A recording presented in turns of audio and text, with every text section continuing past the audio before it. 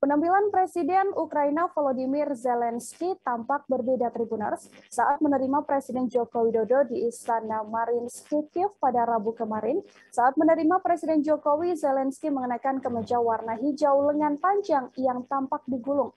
Padahal biasanya Zelensky hanya mengenakan kaos warna hijau ketika menerima tokoh penting, termasuk kepala negara dan kepala pemerintahan negara lain.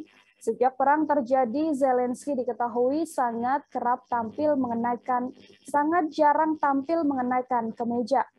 Dalam beberapa forum internasional pun, ia terus memakai kaos hijau lengan panjang, bahkan saat menerima pemimpin Italia, Prancis, dan Jerman hingga Romania. Zelensky mengenakan setelan kaos lengan pendek kala itu. Seragam tersebut diketahui untuk menunjukkan kedaruratan yang sedang melanda Ukraina. Sementara dalam pertemuan kemarin, Presiden Joko Widodo tampak mengenakan kemeja lengan panjang berwarna putih yang digulung. Kemudian Zelensky maupun Presiden Joko Widodo sama-sama mengenakan sepatu olahraga Presiden Jokowi memakai sepatu hitam putih, sedangkan Zelensky bersepatu berwarna hijau.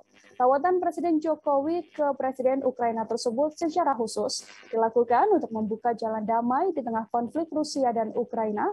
Zelensky menuturkan lawatan Jokowi ke negaranya adalah bagian penting yang menunjukkan dukungannya pada Ukraina. Dalam kesempatan itu, Zelensky juga mengapresiasi langkah Presiden Joko Widodo yang telah mengundangnya untuk hadir ke KTT G20 yang digelar di Bali. Terima kasih sudah nonton.